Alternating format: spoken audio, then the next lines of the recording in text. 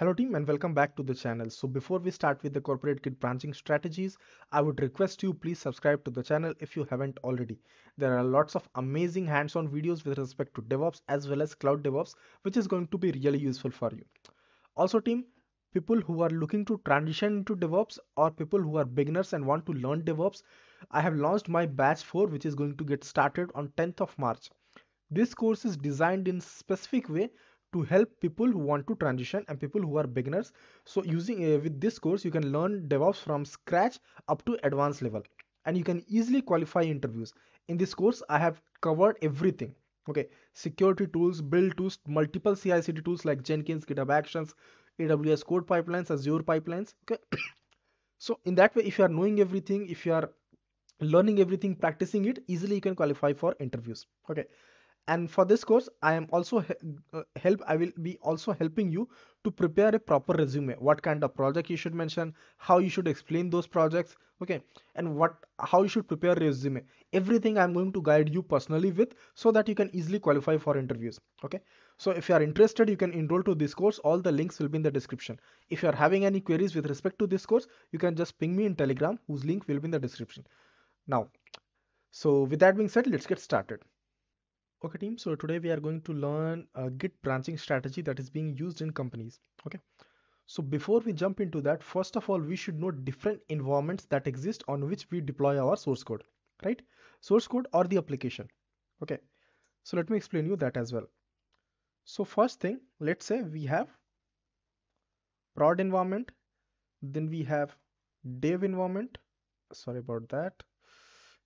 One second. Yeah, so after prod, we have dev environment, then we have QA environment, then we have PPD, then we have DR. Okay. Basically, let me explain you what exactly these environments are and what kind of uh, like changes will be done through these environments. Okay. So okay, first of all dev environment which is also known as the lowest environment or development environment. So any kind of new changes that needs to be uh, applied into the uh, application. So first those changes are tested and deployed to dev environment so that we can see if the new changes or new features are working or not okay? So dev environment is also known as development environment or the lowest environment okay? Then we have qa environment. So qa environment basically is short for quality assurance. So whatever kind of testing we have we perform testing in this environment. We can test like uh, test our different features and everything whatever test cases are written we can test them here okay? So proper testing will be done for the uh, for the application in qa environment. Then we have ppd which is short for pre-production.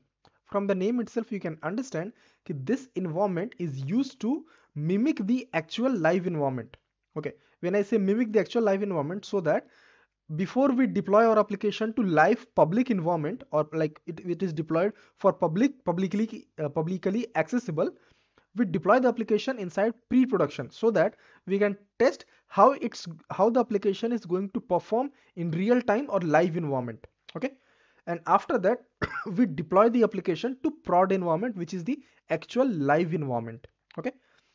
And finally we have dr environment which is short for disaster recovery this is like a backup environment. So if anything goes wrong in our production environment then we can uh, like use dr to replace production for temporary okay as a backup. So this is basically about the environments. These are the five kind of, kinds of environment that exist in any company or with respect to any project okay. Now to deploy to each of these environments we are going to have specific piece of code okay. So for deploying to production we are going to have prod branch in git for deploying to dev, we are going to have dev branch. For deploying application to QA, we are going to have QA branch. And for deploying to PPD, we are going to have PPD branch. Okay. And for deploying to DR environment, we are going to have DR branch, right? That is one thing. Okay. Now, let's talk about how these branches are created, from where they are going to be created, and where exactly we are going to merge them. Okay. So let me show you that as well. So first of all, uh, first we have initial branch which is known as master. Okay, this is the main branch which contains the production ready code and most stable version of code. From master we are going to create dev branch. From dev we are going to create QA and then we are going to create PPD. Okay, and finally we are going to create dr branch okay and be, actually before dr we are going to have one more branch which is for prod let me write it that as well. And then we have dr okay? Okay. Now let's say uh, we are doing this for the first time. Okay? Uh, we have we want to deploy an application for the first time. So we have created these many branches. Okay? So the initial source code which we have first we pushed it to master and then we created all these branches from master. Okay?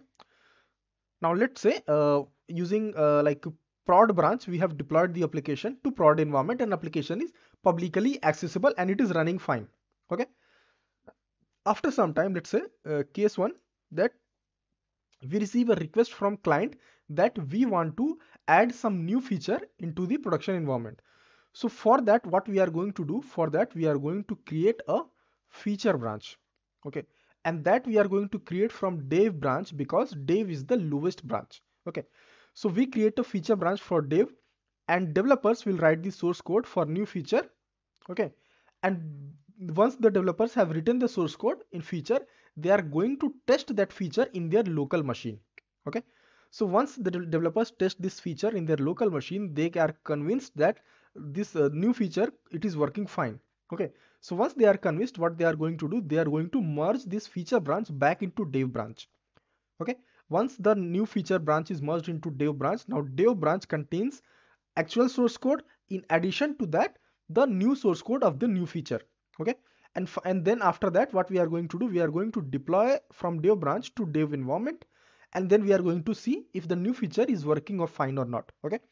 If it is working fine next what we are going to do we are going to merge the dev branch code to qa for quality assurance and testing okay? So for that next what is going to happen we are going to uh, from like qa uh, branch we are going to deploy the code to qa environment to perform the testing to run all the test cases to see if it is worth, uh, running fine or not uh, when the new feature is added right? If it is fi running fine then we are going to merge qa code to ppd and deploy to ppd environment to see how new feature uh, when added in the, into the application how it is working in the pre-production environment. Okay so if it is everything is fine then finally we are going to deploy from uh, this uh, prod branch to public or like prod environment. Okay? And here once it is deployed to prod environment then we can say okay new feature has been deployed into the uh, prod environment. Okay?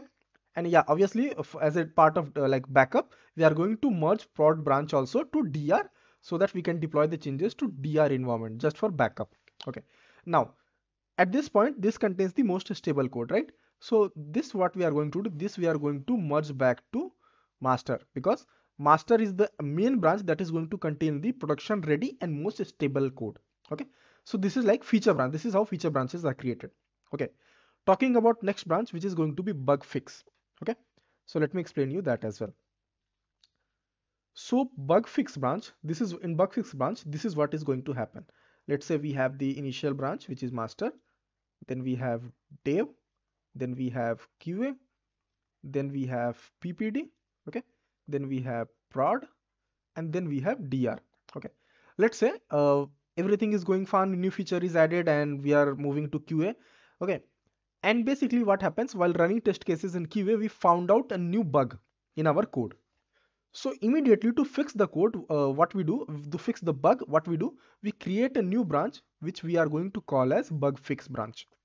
And this you can create from qa you can create see in whichever environment you uh, when the application is testing being tested whichever environment you find the bug from immediately from that branch you are going to create the bug fix.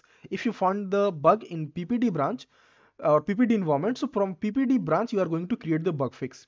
Okay so we created the bug fix branch from here and we are going to fix the bug. Developers is going to fix the bug and once they have written the source code which is going to fix the bug they are going to test it in their local in their local machine if the new source code is working fine or not. Once they have tested then uh, they are going to merge back this bug fix branch to qa or from wherever it was created.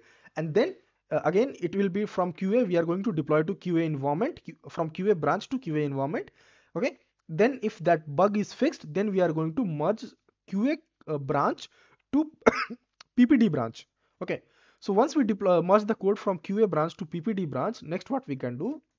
We can do the deployment from ppd branch to ppd environment. Okay. And vice versa we are going to next we are going to move ahead with prod and dr and back to master. Okay. So this is how it will be done for bug fix branch. Let's say let's scenario like uh, uh, let me do some changes. Okay let's say that uh, we we like everything was working fine in qa but in ppd suddenly we got some bug. So this time we are going to create the new bug fix branch from ppd branch. Okay and then developers are going to fix it fix write the new source code to fix the bug and then this code is going to be merged back into ppd okay and then we are going to move ahead. Okay that is one scenario so now you understand what like from where feature branch is going to create it because feature branch is like when client says okay we need to add new uh, feature so we are going to create new feature branch from dev branch write the source code for new feature then start deploying to each environment testing it. Okay if it is fine then it's good. If not then we are going to fix the issues. Okay? That is for feature and for bug fix. Whichever environment you are deploying if any bug is coming you will quickly quickly create a new branch from that specific uh, branch and then you are going to fix the bug okay and then merge the fixed code back into the whichever branch you created the bug fix branch okay so the, this, these are two cases. Now third, third case that you need to know is known as a hotfix branch. Okay. Now hotfix from the name itself, it means basically that the issue that may come is going to be from prod environment. Okay. So basically like uh, you were uh, uh, you uh, added new feature and deployed to dev environment, it's fine. QA, it's fine. PPD also environment you deployed, it's fine. But when you deployed the application to prod environment, suddenly some critical issues occur critical issues that because you know obviously prod branch we are using to deploy the application to live environment okay where public can access the application so if some issue is coming that is very critical issues because public can like see okay these are like critical issues they can also be uh, like uh, worried okay this is a serious issue so in order to fix those issues immediately what we do from the prod branch we are going to create a branch known as hotfix branch. Hotfix branch basically means that there is a bug or issue that came into production environment okay or live environment and we need to fix it immediately as soon as possible. So developer will start fixing it okay and they will immediately fix it test it on their local and merge back from hotfix branch to prod branch. And again from prod it's going to, we are going to deploy it to prod environment. Okay? And now the issue will be fixed. So this is hotfix branch. Usually it is created from it's created because some critical issues may occur. Okay? So if some critical issues may occur we need to fix it immediately. So that's how these branches are created. Okay now let me explain you the proper diagrammatic structure how exactly which branch is created from which branch and where exactly we are going to merge it okay so let me explain you that as well okay team so now let me uh, through a diagrammatic structure let me explain you how exactly these branches are done okay so first of all, what we are going to have, first of all, we are going to have a master branch. For master, we are going to create dev branch. From dev, we are going to create QA branch. From QA, we are going to create PPD branch. From PPD, we are going to create prod branch. And from here, we are going to create DR branch. Okay. Now, when we talk about feature branches so feature branches is created in the initial stage that means if new feature needs to be added we are going to create it from the initial branch which is our dev branch so here let's say i created one branch which is going to be feature okay so if feature branch is created and everything is done then we are going to merge it back to dev if developers have written the source code new code for feature branch and tested it we can merge into merge it back into dev branch so that dev can contain the new feature added source code okay? Then we have bug fix branches. So if we are deploying to any environment we may face that some issue might be there okay? Some bug. So those bug fix branches that that can be created from uh, like qa also that can be created from ppd also in whichever environment we are going to fix the uh, we are going to find the bug from that branch we are going to create bug fix branch. It is possible that from dev in, in dev environment also we may face bug uh, bugs. So from there we are going to create bug fix branch okay? And they are merged back and they are made it's made sure that they are merged into other environments uh, other branches also okay? But when we talk about hotfix branch so hotfix basically it, from the name itself it means that it's a very critical issue a critical bug found into the live or production environment. So hotfix branch usually we create from production uh, branch okay? So we are going to create uh, hotfix branch from production uh, branch and then we are going to fix the bug and then we are going to merge it back okay? And we need to obviously we need to make sure that whatever new changes are there which is which is for fixing some issue or fixing any bug it should be merged back into these branches other branches also okay so this is like three uh, this is the basic branching strategy that you need to explain in any interview and this is what is being used in companies. Okay? Okay team. Thanks for watching and have a nice day. If you have any specific queries you can just ping me in telegram or you can just uh, comment in the comment section. Okay? So thanks for watching and have a nice day